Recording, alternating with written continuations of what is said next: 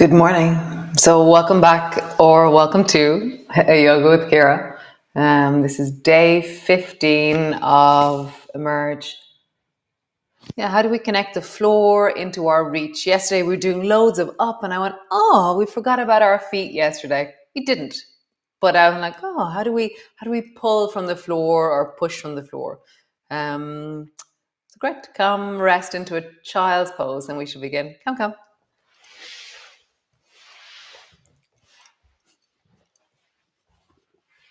So child's pose, your bum is back, your arms are long, or you can rest your head on your hands. And then just wiggle a little bit so you feel the sense of the weight of your body dropping back into your feet. And just that opening through the front of your feet. Taking a few breaths, really letting yourself. So I find when I really check in with the um, the energy of my body, I resist things, and then I go, "Oh, look at that." So that's my tendency is that I resist. So notice in you, are you resisting gravity? Are you defending anything or minding anything? And if you are, maybe change your position or maybe soften.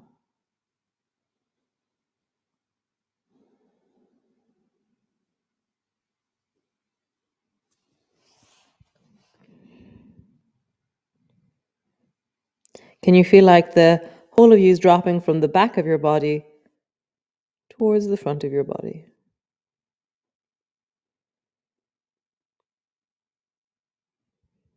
That gravity is pulling you down,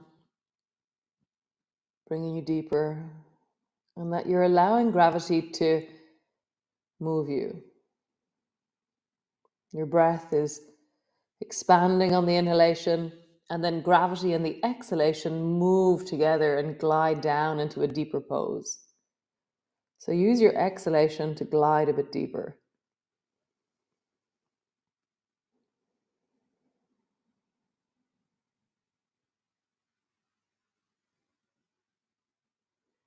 Nice. Coming up into your cat pose. Round your back, tuck your toes under, pause there. Now you're stretching through the back of your body. Let it awaken, let it arise towards the ceiling. Toes are strong, and even imagine you're just about to lift your knees off the floor. You're not going to, but have that sense of your legs are on because you're just about to lift. And when I do that, my deep lower belly engages. So instead of saying engage your lower belly, just imagine you're going to lift your knees and you will connect naturally. Nice. And then arching your back, point your toes, bring them flat. Round your back. Imagine you're just about to lift your knees. And then arching your back, toes are flat. So as you feel that just about to lift your knees, I feel my hands on my spine engage in such a powerfully different way. You can let your knees float if you wish, but the energy isn't about lifting your knees. It's about oh, connecting into such a deep and powerful cat pose. Nice. One more time. Super. So this time, bring your right foot to the outside of your right hand. Hiya!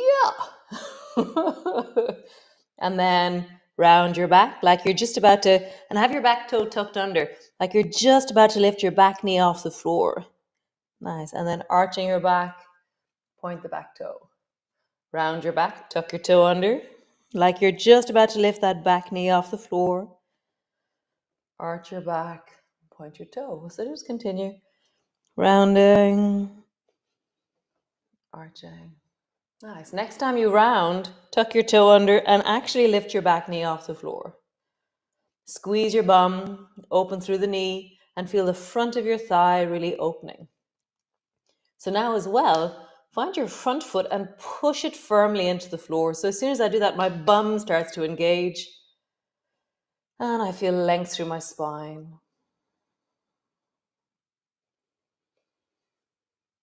Nice. Almost drop your knee to the floor and then straighten your back leg. Bend the front knee more. So it's like you're bending the back knee, everything folds. And then as you straighten the back leg, your front knee moves away and creates more length. Fold, length, fold, length, fold, length. Nice. Push back into your downward dog. Mm, Create some space by wiggling through your hips, connecting into your body. And draw back through your heels. Nice. Drop your knees down. Other side. Bring your left foot. Hiya! Channel your inner Miss Piggy. Fling that leg forward. Round your back. Tuck your toe under. Arch your back. Toe goes flat. With my leg forward, suddenly I am I'm kind of confused about moving my foot. And I'm there's a resistance in me. I'm like, why am I moving my foot? But I'm really trusting the neural connections. Imagine you're going to lift your knee off the floor. I've changed, and suddenly it's more difficult. Um, I'm always amazed at how little we can do sometimes. nice. Next time you tuck your toe under around your back, lift your back knee off the floor, bend your front knee more, push it deeply down into the floor that foot, stretch the back leg, squeeze your right buttock. Both of my arms are really strong. I have a sense of really like that feeling of I'm about to lift my knee off the floor, which was what we had before, or rounding through the back. So you feel like you're trying to lift your belly higher as you squeeze through your bum. Just feel that. What happens in your body? Nice. Bend the back knee, folding. Straighten the back leg. Your front knee glides away as you do that. It's like find the elastic of you. Bend the back knee, glide. Back knee, glide. One more time. Back knee, glide. Step back, downward dog, creating length, connection. Pause, really connecting down into your feet. Heels draw back.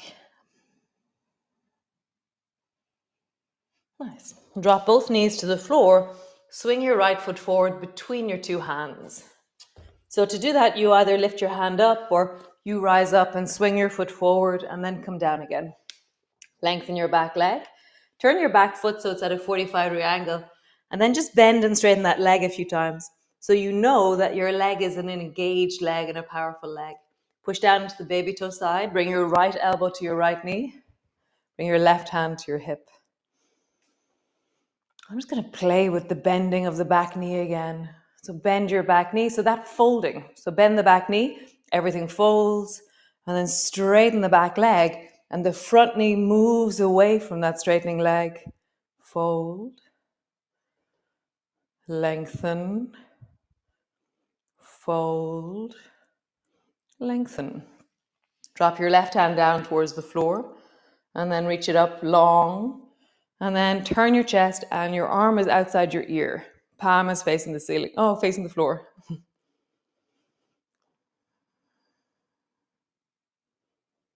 nice. Lengthen into that back leg. Find your baby toe side. Can you push into your foot and feel what it changes? Can you engage into the front foot and see, see what it changes? Windmill your left hand down towards your left side and then reach your right hand up towards the ceiling, reaching up, looking up. Nice. Windmill down, right elbow down, left arm long beside your ear. And again, powerful into your feet as you rise up, reverse warrior, and then down. They call this extended side angle. I'm amazed I even know the names. Reaching up one more time, Long, both hands down, step back, downward dog. Finding your way back into your downward dog, have a bit of a wiggle, and then drop both knees and come rest into your child's pose. So just feel gravity surrendering you down as you surrender, hmm, maybe not surrendering, but as you exhale, can you glide deeper into the sink of you?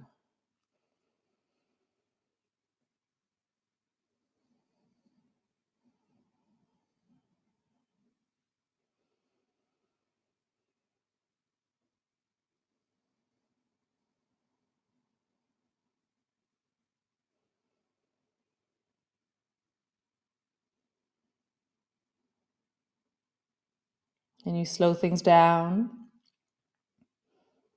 You feel your body.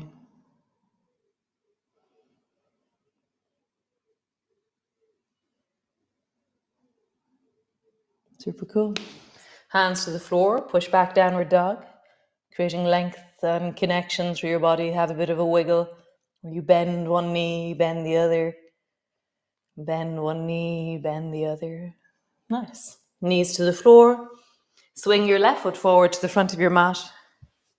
Both hands down, lengthen your back leg. Turn your back toes so that your 45 degree angle, bend and straighten that leg a few times so you really feel it's a strong and connected leg. Nice. Elbow to your knee, rising up, both hands on your hip, or right hand to your hip, left elbow on your left thigh. So fold, bend the back knee, and then lengthen the back leg and let the left knee move more forward as you do that. So feel the elastic of you shortening and then elastic of you lengthening. Shorten, lengthen, shorten, Lengthen. Nice. Sweep your right hand down and then long beside your ear. Feel the sense of long into the right side of your body. Left elbow is really strong and steady.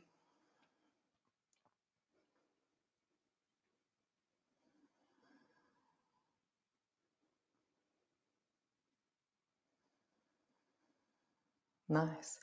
So windmill your left hand, your right hand down towards your right side and then rise up, reaching your left hand up towards the ceiling. And down, left elbow down, right arm over. And then change. And just begin to flow, connect, feeling your body as you move. Nice. One last time. Super cool. Both hands down. Step back, downward dog, creating length through your body. Nice. Bring your knees to the floor. Come sit on the floor and have your legs long in front of you. And then bend your knees. So, dropping both knees down towards the left. There's more weight into the left buttock. The right thigh is fallen in, left thigh is fallen out. Back to center. And then both knees down towards the right. More weight into the right buttock, left thigh falling in, right thigh falling out. And then just travel from side to side. So, as always, if you have your hands on the floor behind you, this is easier. If you have your hands off the floor, it's a little bit harder. Keep your hands up towards the ceiling, interlocking your fingers, it's even harder. So, find your way of doing this in wellness. Like, where is that place where you go, this is a really healthy and dynamic place for me to be. And with what I'm doing, I'll be able to turn up again tomorrow and move. So the continuity of the practice is more important than anything that I ask you to do today. So I was walking forward with my bum there. So I just pushed myself back. One more time each side. Nice. So drop both knees down towards the right. Bring both hands either side of that right knee. Drop your head down and rest your belly down on your thigh.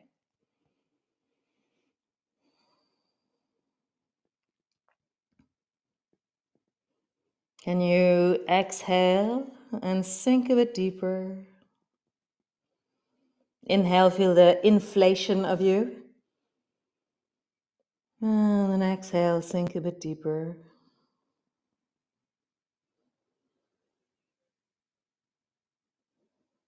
Nice. Back to center, other side. Over towards the left side, belly comes down onto your thigh. So remember, use your hands as support, use your elbows to support. Find the way that you meet your edge. So each of us are meeting our edges, and that looks different, but it should have a feeling that's similar across everybody who practices, which is that there's a attentiveness and an inner dialogue around is this okay? Do I feel healthy? Am I feeling well? Can I move my fingers and toes? Can I still breathe? Can I be present? Oh, yes, I can. Great. I come back to center. Stretch both legs out long, roll into your ankles. And then roll in the other direction. Soles of your feet together. Hold on to your ankles, sitting up really tall.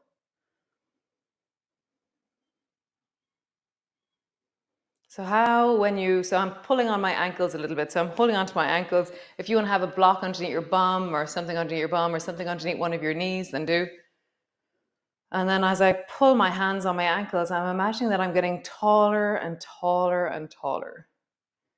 And then I'm going to drop and round. And as I round, I really round my shoulder blades forward. My collarbones are rounding. Hmm, I don't know rounding is the word for them, but they're doing something, my collarbones. My head is tucking in, and I'm looking down towards my feet. And then getting tall, pull backwards. I'm almost leaning backwards as I pull tall. Rounding forward, sitting tall.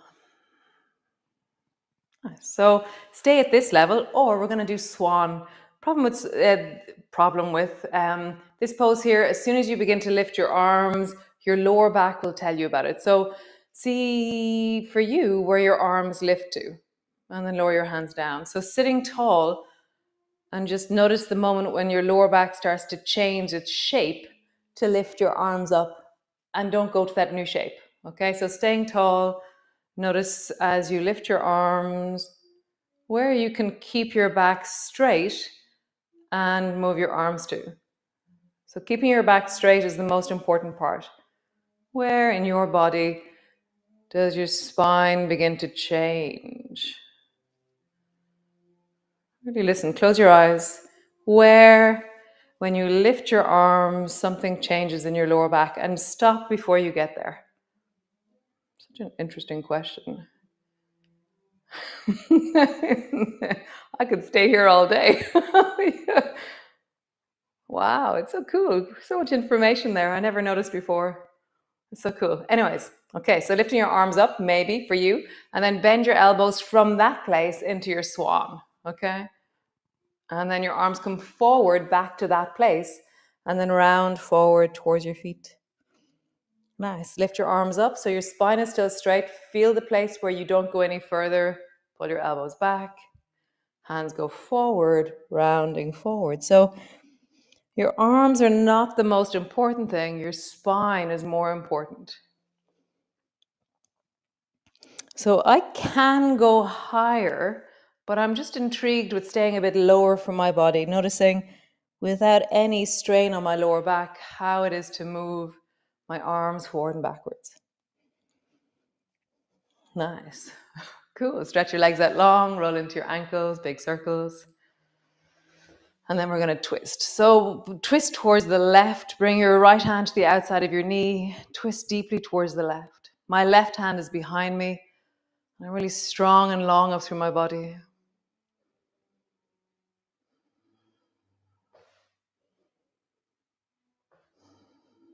Nice. Bring both hands to the floor.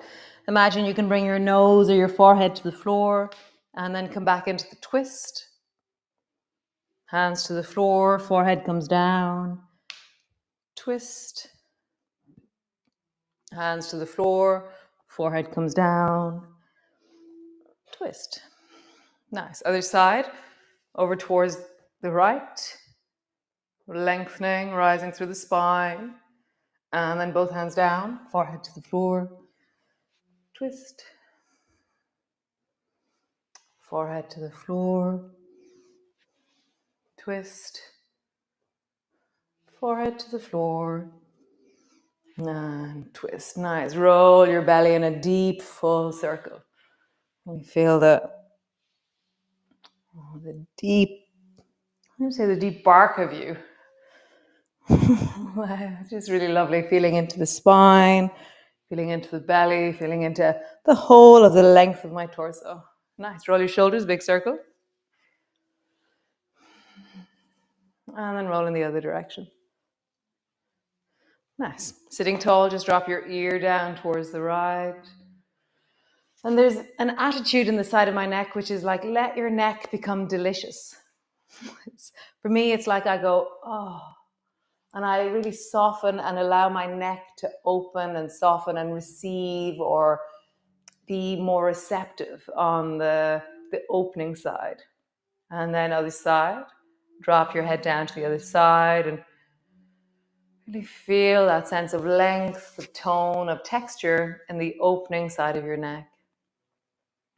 And then just travel slowly, closing your eyes, travel in one direction. Find that moment of surrender and then back,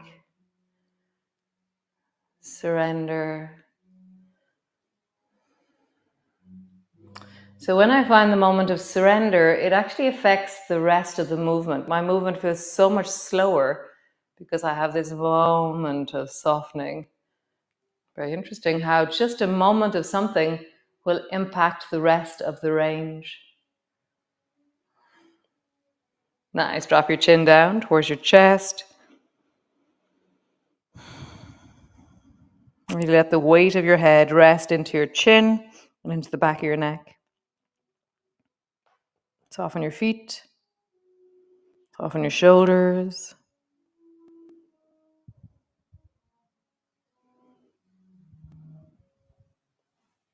Nice. Come lie on the floor. Come all the way down. Just take one minute to lie on the floor. Lying down, maybe draw your knees up towards you, rock from side to side, move, connect, deepen, breathe. Um, how lovely. How cool. Very, very nice. Uh, I'll see you all tomorrow. Another wonderful day of Emerge. Um, yeah, nice. Oh, and I have a plan for April. It's a, it's happening. I'm like, phew, cool. As always, I get really excited about the new one. I'm like, wow, this is such a great plan. so I have a plan. It's emerging, and um, great. Thanks for being here, and uh, I'll see you all tomorrow. Another day of the continuousness of this practice. uh, ciao, ciao. Bye.